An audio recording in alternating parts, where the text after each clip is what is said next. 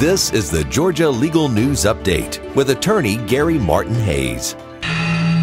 Good morning. I'm Gary Martin Hays. Where were you during snowpocalypse of 2014? Atlanta completely shut down due to snow and ice.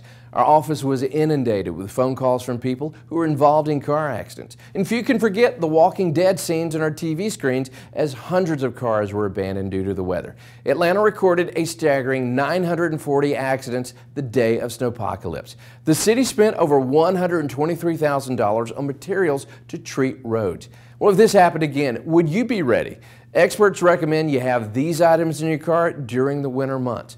A properly inflated spare tire, jumper cables, a bag of salt or cat litter for better tire traction or to melt snow, a toolkit, a flashlight with extra batteries, reflective triangles or flares, a first aid kit, ice scraper, and non-perishables such as high-energy foods like unsalted canned nuts, dried fruits, and hard candy, blankets, mittens, socks, and hats. And ask yourself, is the trip so important that it can't wait? Sometimes delaying your trip an hour or two is the safest thing to do. Preparing your car is half the battle. Being aware of your surroundings is critical. Always look and steer in the direction you want to go. Do not use cruise control in wintry conditions. Increase the distance between you and the car in front of you by 8 to 10 seconds. Accelerate and decelerate slowly. Keep your gas tank at least half full. Again, ask yourself, is this trip so important that it can't wait?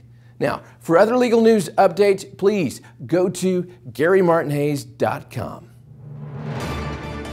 If you've been hurt in a car wreck or hurt at work, tell the insurance company you mean business. Call the law offices of Gary Martin Hays and Associates right now. 1 800 WIN WIN 1. 1 800 WIN WIN 1.